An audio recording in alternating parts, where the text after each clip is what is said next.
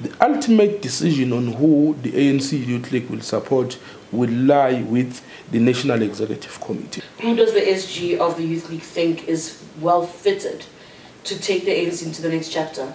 It's someone who will unify the organization. It is someone who will adopt our program to deliver free education. It's someone who will buy to our program of economic freedom in our lifetime. It's someone who's going to be committed to the establishment of a functioning state bank that will serve as a primary bank of government. It's someone who will understand that mining licenses that come that are issued now must no longer be issued without a share of our people in them that is, is, is, is, is my view in terms of the characteristics of a person.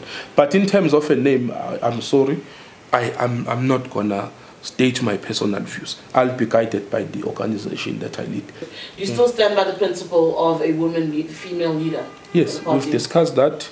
Uh, in structures of the organization, we've said we believe that uh, part of the mix, because you know, the mistake people make, they think when we say we are having one principle, two, second principle, a third principle.